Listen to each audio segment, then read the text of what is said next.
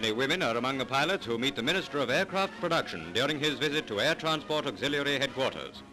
Some of the ferry pilots who have helped to notch up more than 30 million miles while delivering 100 different types of aircraft to their bases. Spitfires, Walrus amphibians, in fact every kind from the smallest to the biggest. In all, over 100,000 planes delivered by ATA. The world's fastest bomber, the Mosquito. Halifax. The men and women in the dark blue uniforms of ATA ferry them all. In his talk, Sir Stafford Cripps gives credit where credit is due.